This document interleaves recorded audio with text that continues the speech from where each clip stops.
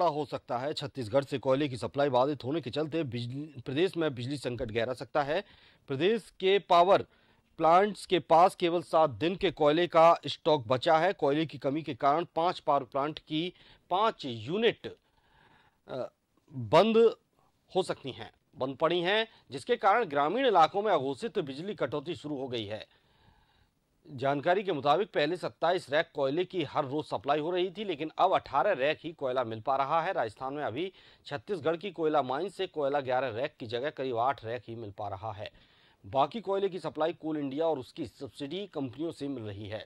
राजस्थान को कुल 17 से 18 रैक ही औसत सप्लाई हो रही हैं, जबकि ज़रूरत 27 रैक की है। कोयले की कमी के कारण सूरतगढ़ की 250 250 मेगावाट की दो यूनिट, सूरतगढ़ की सुपर क्रिटिकल